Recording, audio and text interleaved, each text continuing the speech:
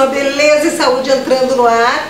E agora todo vapor, porque o ano começa agora, não é, Gilson? Agora acabou o carnaval, acabou as férias, né? O ano começa mesmo, né? O Brasil começa a acontecer. Os profissionais estão aqui, Apostos, apostos, né, esperando para colocar o cabelo das clientes no lugar.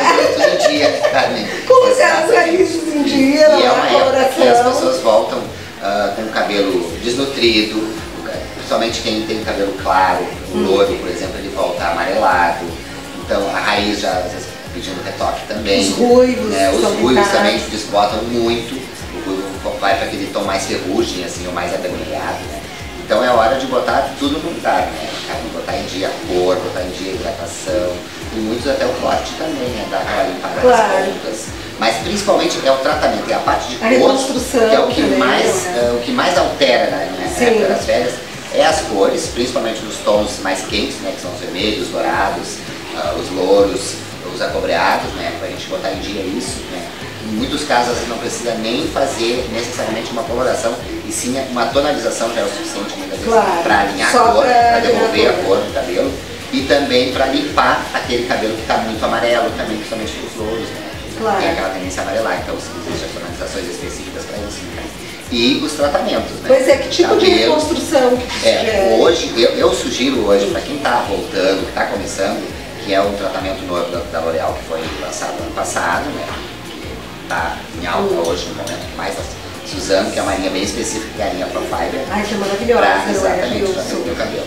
Para reconstruir esse cabelo, porque esse cara é um cabelo que precisa de umidade. Não, e tu já percebe a diferença assim, ó, na hora. Na hora, é imediato. É incrível, né? é imediato, muito bom. exatamente. Então, aqueles casos mais. O cabelo está um pouco mais agredido, Hum. aí às vezes exige um pouquinho mais de tratamento, mais uma, duas, três semanas seguidas, Claro. depende, né? E alguns casos conseguem resolver já no primeiro dia, né, cara? E também tem os, os realinhamentos, né, que dá para fazer com a selagem térmica, então tem, tem vários tratamentos específicos para cada tipo de cabelo, né?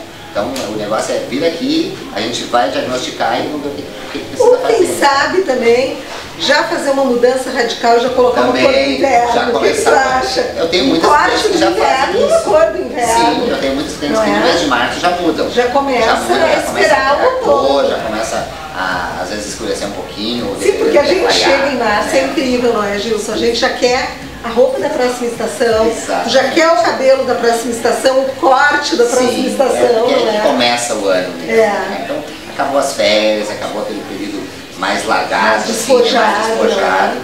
E a pessoa já começa até, até na produção, né? na maquiagem, na roupa, tudo já, já Mesmo que ainda continue quente, que ainda a gente não quente. quer saber mais da roupa do verão. Gilson, me diz uma coisa. Os homens que tonalizam os seus cabelos também têm que vir alinhar a cor, né? Também, Porque também. o mar e o sol, ele tira Porque o cabelo, completamente. até por exemplo, o homem que tem cabelo branco, que não, não, não, não faz uma coloração nesse cabelo, mas esse cabelo também tem que ser tratado, né, cara? Porque o cabelo com excesso de sol, ele fica amarelo. Sem? O dúvida. branco com excesso de sol, ele fica amarelo. Então também se faz essa limpeza, se faz esse tratamento com tonalizante também, só para deixar aquele branco mais branquinho, aquele branco Claro. mais alvo, assim, né, que fica bonito, né? Que fica super bonito. Exato. E os um homens cabelo também, ah, quando a gente vê aquele homem de cabelo grisalho, bem natural, mas que está super bonito, muitas vezes também é mecha Sim, invertida, é a mecha né, invertida Gilson? também que se faz para dar aquele equilíbrio na cor. né? fica muito super bonito é? e fica muito natural. Porque eu acho que uma coisa que é importante no, na- no cabelo masculino, no visual masculino, é ter naturalidade. Claro. Não ficar com aspecto de cabelo colorido, de cabelo pintado.